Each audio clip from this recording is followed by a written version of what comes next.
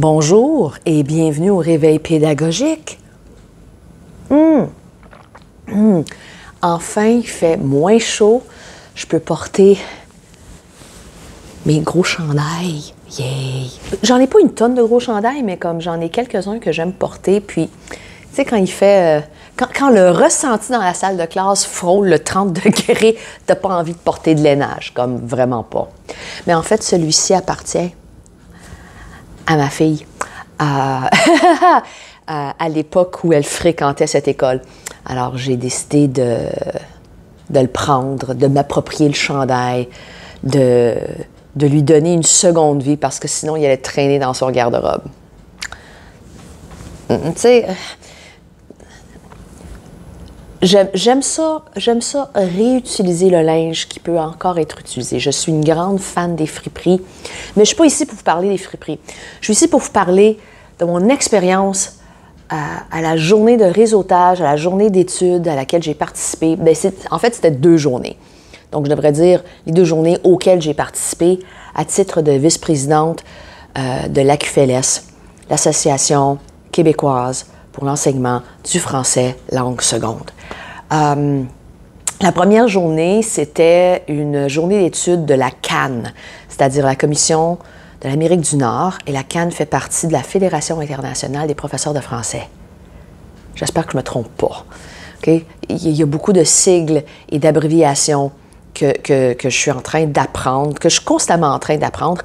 Et, et euh, cette, euh, la semaine passée, j'en ai appris une tonne. Hum, C'était très fascinant. Et j'ai mis une vidéo très, très, très courte, je reconnais. Euh, J'avais une pause, puis je voulais pas euh, manquer des opportunités de jaser avec, avec certaines personnes. Et c'était très intéressant de voir des spécialistes dans le domaine de l'enseignement des, langues, euh, des langues secondes, que ce soit le français, que ce soit langue seconde, l'anglais, que ce soit euh, une langue étrangère. C'était très intéressant de voir leur approche au sujet de l'enseignement et de l'apprentissage des langues secondes. Et bon, je ne veux pas dire le courant, mais l'approche qui est privilégiée en ce moment, et là, je ne veux pas dire juste comme au Canada, non, non, non, non, je parle mondialement, d'après ce que j'ai compris. L'approche, c'est une reconnaissance des cultures et des langues uniques à chaque apprenant. Euh, on a parlé de, euh, plurilinguistique, la pluriculturalité des, des- apprenants, et comment si on veut euh, faire un enseignement efficace et euh, signifiant, authentique pour les élèves, il faut reconnaître leur culture et reconnaître leur identité et leur réalité. Il y avait beaucoup d'emphase sur la, la réalité et la culture autochtone, euh, étant donné que là où nous sommes, ah, terre non cédée. Donc, c'est, puis je dis pas, je dis pas ça d'une façon sarcastique. Donc, si vous avez compris ça de façon sarcastique, non, non, non, comme euh, une fois qu'on a compris l'histoire du pays, on, on reconnaît qu'on n'a pas découvert le Canada, on a volé le Canada.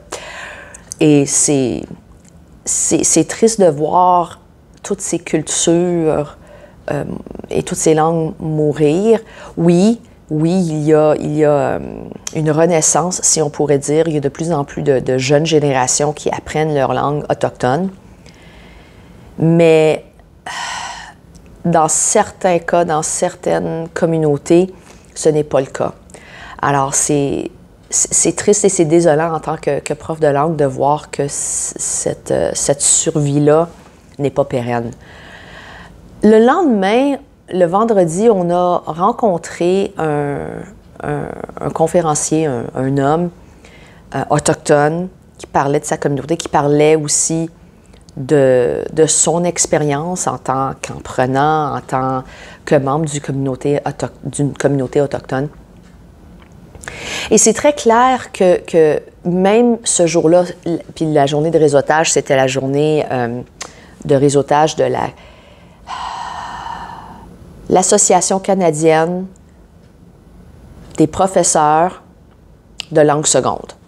OK? LAC qu'on a surnommé. Et même, même cette association-là, pan-canadienne, avait une approche, une philosophie euh, de reconnaissance des cultures des autres. Et puis là, je suis partie de, cet événement-là, de, ces deux journées d'études, de, réseautage, de congrès. C'est pas vraiment un congrès, mais ça avait l'impression de congrès. Ça avait la vibe de congrès. Je suis partie à la fin de la journée vendredi avec des constatations, des réalisations. Puis là, je suis pas en train de, dire que il faut pas enseigner le français du tout. Je ne suis pas en train de dire ça, vraiment pas. On est au Québec. Oh, puis ça, c'est une autre chose aussi que j'ai remarqué. C'est que même si j'étais entourée euh, d'anglophones, qui enseignaient le français langue seconde, euh, ou qui, étaient des enseignants de langue seconde, peu importe à qui je parlais, il était clair et évident qu'au Canada, il fallait enseigner le français aussi. Que c'était pas juste comme ah, OK, on va enseigner le français. Ah, OK, ça va faire plaisir comme aux petits francophones. Non, non, non. C'était comme une nécessité, étant donné que le Canada a deux langues. Mais encore une fois, tout en reconnaissant les, les réalités autochtones dans le pays. Et je sais qu'au Québec, on a une réalité très unique, euh, très, très propre au Québec, qui fait en sorte que oui, quand on est entouré d'anglais, c'est essentiel, c'est fondamental pour préserver notre identité, pour préserver notre langue. Puis là, je le dis, là, pas d'un point de vue comme politique, là, oui, Québec indépendant, non, OK je dis comme notre identité culturelle, tout comme l'identité des Autochtones, il faut la préserver, il faut la sauvegarder. On, est entouré d'anglais, il faut la sauvegarder. Mais ailleurs au Canada, on a la même philosophie aussi. Il faut préserver le français parce que ça fait partie de leur identité ailleurs au Canada. Et en même temps, tout en reconnaissant les identités, les réalités autochtones et celles des allophones. Et, ça, on oublie comme la pluri... pluri la pluri... Hmm. J'avais tellement de difficulté à, l'écrire le mot. Le fait qu'on est plurilingue au Canada, qu'on a une tonne euh, d'allophones, en plus des anglophones, il devient tout aussi important d'enseigner le français aussi parce que ça fait partie de la réalité canadienne et non pas juste québécoise. Mais je crois là où on fait défaut au Québec, puis là, c'est basé sur mes 26 ans d'expérience, d'accord? C'est que dans notre enseignement, puis il y a même comme, pas une compétence, mais il y a euh, une sous-compétence euh, dans le programme d'études où on touche la culture québécoise et, la réalité francophone, la culture francophone de la province. Je sais de me rappeler précisément le, critère, puis je ne l'ai pas là. Il est au, comme, peut-être pas sur le bout de, la langue, mais comme quelque part là, vers le fond. Et on essaie de pousser des éléments culturels francophones, franco-québécois aux jeunes en langue seconde et en langue d'enseignement, ou en langue maternelle, comme on dit ailleurs au Canada, sans que ce soit signifiant pour les jeunes.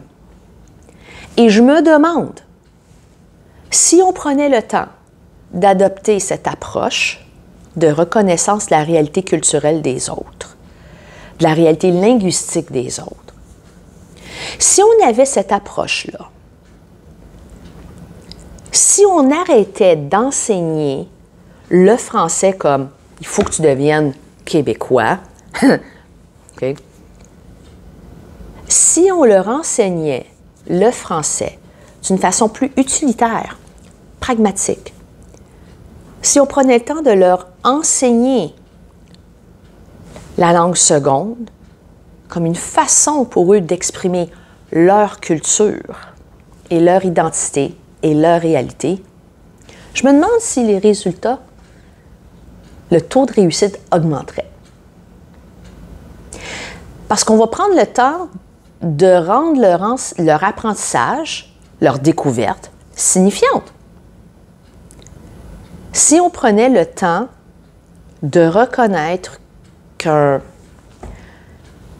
étudiant qui vient d'un pays africain, qui ne se reconnaît pas dans la réalité québécoise, qui a son identité propre, qui voudrait s'intégrer sans nécessairement anéantir son identité à lui ou à elle, faudrait peut-être leur donner la chance de s'exprimer en français, mais au sud de leur culture. Pas tout à coup comme... Je ne suis pas en train de dire qu'il faut arrêter de faire comme euh, découvrir aux élèves la beauté de la culture québécoise, OK? Puis c'est pas juste le sirop d'érable, puis c'est pas juste la poutine, OK? On, est plus que ça. Là, je vais pas commencer à lister. Je suis presque à 12 minutes. Là. C'est beaucoup pour un, réveil pédagogique euh, matinal. OK? je me demande si l'engagement des étudiants augmenterait. Je me demande si le taux de réussite euh, augmenterait aussi. C'est des hypothèses que j'émets. Parce que je pense sincèrement qu'on essaie de présenter le français comme un idéal à atteindre et, au, dépend, au de la, la, réalité que les élèves vivent. Je pense à la place de, de, de leur, de, leur, de leur dire qu'il faut avoir un français parfait et de devenir un francophone parfait. Je pense qu'il faudrait davantage partager l'idée que tu as une, identité, euh, tu as une réalité qui est propre à la tienne. Voici, je te donne les outils pour t'exprimer en français. Voici comment le dire.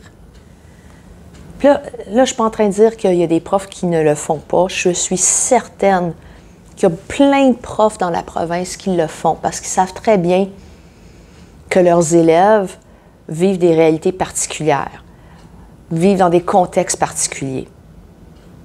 Mais je ne crois pas que ce soit une approche et ou une philosophie qui est répandue à travers la province. Et c'est ça qui, qui est désolant dans tout ça. Parce que j'ai quitté, j'ai quitté les journées d'études, la journée de réseautage, avec, avec un, je ne vais pas dire une satisfaction, mais avec un degré d'assurance de, que, OK, ce que je fais dans ma classe, c'est bien, parce que je n'essaie pas d'étouffer l'identité des élèves. Mais en même temps, je suis partie là avec une tonne de questions. Donc, euh, oui, c'est du contenu très, euh, très cérébral ce matin. Hmm. Euh, sur ce, j'approche 15 minutes. Est-ce qu'on va, on va aller jusqu'à 15? On va aller jusqu'à 15. Juste pour le fun, juste pour ça. On va prendre une gorgée de café. Hum. Hum. Et euh, coïncidence ou non, c'était pas voulu. Euh, la prochaine, prochaine unité que je vais faire avec mes élèves parle de l'identité et, parle de, la culture et le multiculturalisme ou le pluriculturalisme. Il, y a une distinction entre les deux, c'est dans mes notes. Euh, ce ne sont pas des synonymes. Ce ne sont pas des synonymes. Alors, j'ai hâte de commencer cette unité-là avec les élèves et je crois que je vais faire une activité particulière avec eux. Quelque chose que j'ai vu justement lors de la journée d'études. et sur ce, bonne journée.